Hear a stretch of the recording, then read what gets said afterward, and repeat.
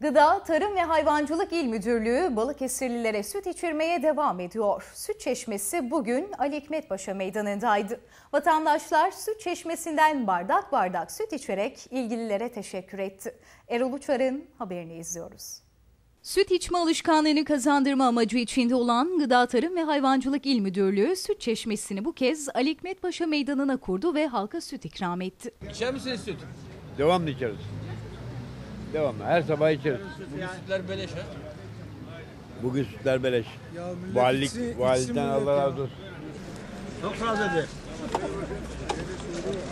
Kim hayırlıysa Allah kabul eylesin. Cenab-ı Hak yardım etsin. Süt dağıtımında bir açıklama yapan Gıda Tarım ve Hayvancılık İl Müdürü Engin Sancı, halk olarak süt içme alışkanlığımız yeteri derecede olmadığından, üretimde lider olan ilimizin süt tüketimini daha da arttırmak için elimizden gelen gayreti bugüne kadar olduğu gibi bundan sonra da göstereceğiz. Bunun için buradayız. Gösterilen ilgiden dolayı herkese teşekkür ediyorum dedi. Sancı son günlerde gündeme gelen kanserli sütle ilgili de açıklamalar yaptı. yoğun olarak insanlarımızın bulunduğu, geçtiği bu noktada Ali Hikmet Paşa Meydanı'nda e, insanlarımıza, Balıkesirlilerimize, genç, yaşlı demeden küçük, büyük herkese süt ikram ediyoruz.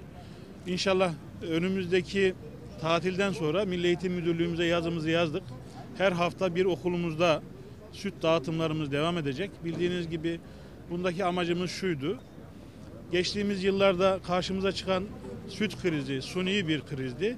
Bunun böyle olmadığını, gerçekte sütte krizin olmadığını anlatmak, ürettiğimiz sütlerde herhangi bir e, işte son günlerin gündemini takip ediyorsunuz. Bu konuda da herhangi bir şeyin olmadığını anlatmak için inşallah böyle bir şey yok. Tabi üretim gerek üretim yerleri gerekse tüketim yerleri bakanlığımızın Taşra'da il müdürlüğümüzün kontrolü altında.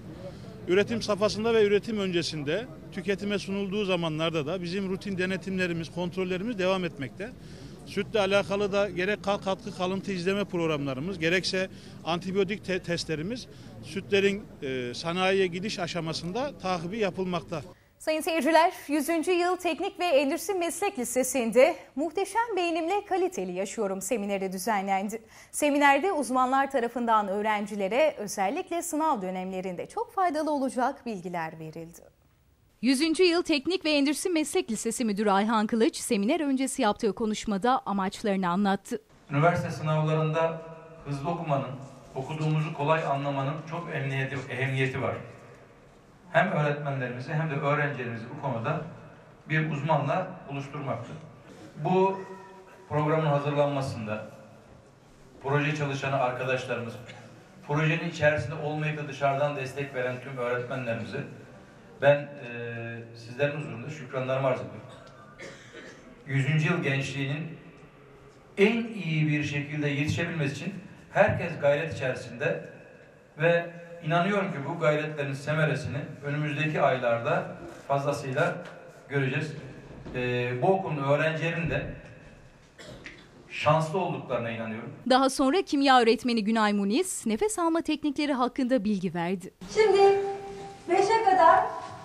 diyaframınızdan nefes alıp yine bu ağzınızdan az nefesinizi vererek bir hazırlık çalışması isteyeceğim. Ondan sonra gözlerinizi kapatıp sanki gözünüz burnunuzmuş gibi gözünüzden nefes alıp vermenizi isteyeceğim. Hafıza ve hızlı okuma teknikleri uzmanı Barış Nuri Oktav'da Muhteşem Beynimle Kaliteli Yaşıyorum adlı seminerde öğrencilere bilgi aktardı. Hafıza ve hızlı okuma teknikleri uzmanı Barış Nuri Oktav seminerle ilgili olarak insanlara beynini etkin kullandığı zaman neler yapabileceklerini gösteriyoruz. Aynı zamanda nefes almanın ne kadar önemli olduğunu anlatıyoruz dedi. İnsanlar aslında beyinlerini kullandıkları zaman hayatını tamamen kendi kontrolü altına alabiliyorlar. Bu çok ciddi bir olay. Yani hayatı kontrol altına alabilmek demek, hayatınızdaki tüm başarısızlıklardan, mutsuzluklardan kurtulmak demek. Ve e, biliyorsunuz insanlar tek başına yaşamıyorlar. Burada bir öğrencinin hayatını değiştirebilirsek bu sadece bir öğrencinin değil, onun tüm ailesinin, o ailesinde eşi dostunun yani sadece bir insan değil. Siz bir insanı değiştirdiğiniz zaman birçok insana etki etmiş oluyorsunuz. Ve burada sunduğumuz hizmetler beyin üzerinden olduğu için çok etkili. Kimse Yok mu Derneği kumbaramda olsun bana okul olsun sloganıyla bir kampanya başlattı. Bu amaçla bugün Özel Fırat İlköğretim Okulu'nda çocukların ilgisini çekecek şekilde hazırlanmış kumbaralar dağıtıldı. Öğrenciler kumbaraları 24 Şubat'a kadar saklayarak para biriktirecekler. Özel Fırat İlköğretim Okulu Müdürü Ramazan Bayram, sınıflarda kumbara dağıtımı öncesi bir konuşma yaparak kampanya ile ilgili bilgi verdi. Okulumuza Kimse Yok Bu Derneği kanalıyla kumbaralar ulaştırıldı. Gerçekten daha önce gıda ve kıyafet yardımında okulumuz örnek bir davranış göstermişti. Maddi yardımda da çok iyi bir çalışma göstermişti. Bir tır malzeme yolladık biliyorsunuz sizin yardımlarınızla. Şimdi inşallah güzel bir e, böyle kimse yok bunun organize etmiş olduğu Gonca dergisiyle beraber bu çalışmadan örnek bir davranış gösterip Oradaki kardeşlerimize daha önce gıda yolladık, eşya yolladık. Şimdi inşallah okul olması adına bir katkımız olacak. Bu konuda e, bütün arkadaşlarımızın ben çok iyi çalışacağını, akrabalarından, sağdan soldan bulabildiği bütün harçlıkları buraya dolduracağını düşünüyorum. Kimse Yok mu Derneği Balıkesir Şube Başkanı Yaşar Yeşil de desteklerinden dolayı öğrencilere teşekkür ederek kumbara dağıttı. Biliyorsunuz zaten onun çok uzun süre geçti. Belki tarihini bile unuttuk ama orada sizin gibi arkadaşlarımız var, sizin kardeşleriniz var. Onlar hala sıkıntı çekmeye devam ediyorlar. Biz de bu Gonca dergisiyle Kumbaram'da olsun, Lan Okul olsun kampanyası kampanyasında Milli Eğitim Bakanlığı'nın izniyle de sizlere getirdik bu kumbara. Şimdi sizlere dağıtacağız inşallah.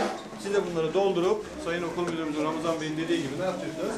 Bunları bize iade edeceksiniz arkadaşlar. Oturalım çocuklar oturun. Daha sonra inşallah bunlar da e, sizlerin yardımıyla arkadaşlar ne olacak? Bunlardan her biri okul olacak. Her birisi sizin okulda, o okulda bir tane tuğlanız olacak değil mi arkadaşlar? Kumbaraları alan öğrenciler de duygularını KRT Haber'e şu şekilde dile getirdi. Bunların yararı Van'daki çocuklar için e, yeni okullar ve yeni eşyalar göndermek için açılıyor. Bunları hep biriktirerek e, Van'daki arkadaşlarımıza e, fa- destek vereceğiz. Depremdeki depremdeki arkadaşlarımıza Evet. para doldurmamız kumlarımıza para doldurmamız için okul olması lazım. Evet.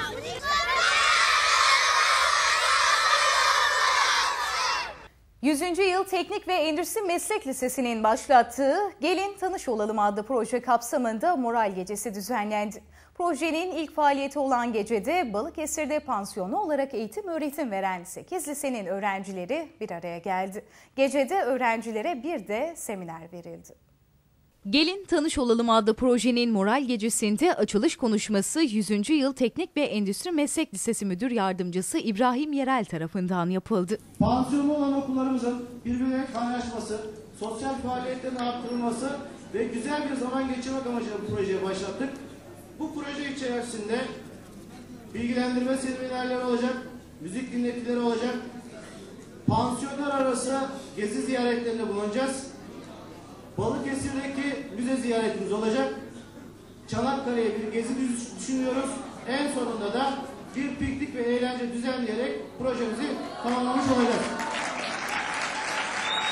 100. Yıl Teknik ve Endüstri Meslek Lisesi, İstanbul Menkul Kıymetler Endüstri Meslek Lisesi, Ziraat Bankası Fen Lisesi, Adnan Menderes Anadolu Lisesi, Anadolu İmam Hatip Lisesi, Cumhuriyet Anadolu Lisesi, Balıkesir Anadolu Lisesi ve Kadriye Kemal Gürel Anadolu Güzel Sanatlar ve Spor Lisesi öğrencilerinin katıldığı geceye obezite ve diyabet konulu seminerle devam edildi. Seminerde Sağlık Meslek Lisesi öğretmeni Kezban Çapkın öğrencilere bilgi aktardı.